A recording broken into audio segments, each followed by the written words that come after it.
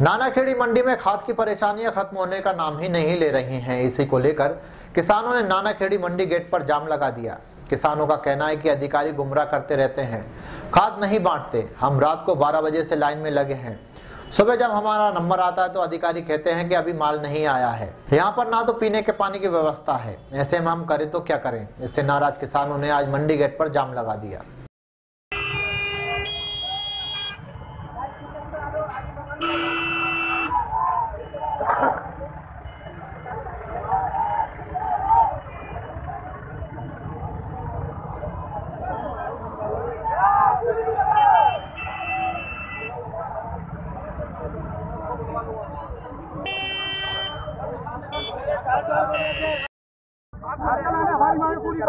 अरे आज भी सर चार गाड़ी आएँगे चार। आज भी चार गाड़ी। चार पाँच बजे से लग जाते हैं लाइन में।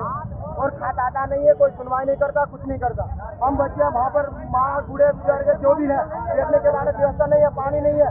बेचारे पर जो भी लोग है किसान आता है बैठ जाता है चार बजे बंद हो जाता है चुपचाप चले जाता है। ये कौन सा सरकार चल रहा है? ये हम पूछना चाहते हैं हम सरकार से। तो आप लोग को बिल्कुल कट्टे नहीं मिले मिले